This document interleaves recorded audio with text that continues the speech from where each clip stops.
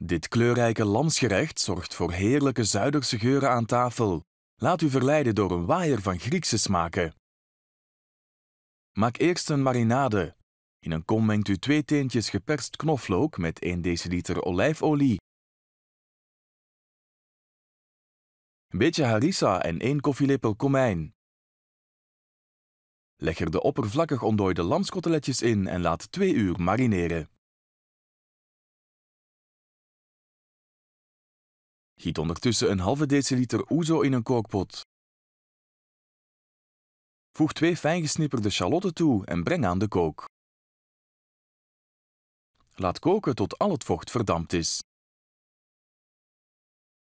Voeg 600 gram diepgevroren mediterrane groentemix toe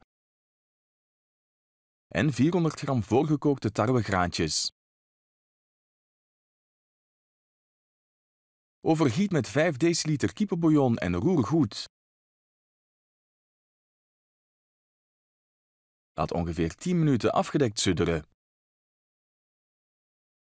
Als de mediterrane tarwegraantjes gaar zijn, kruid u ze met peper en zout.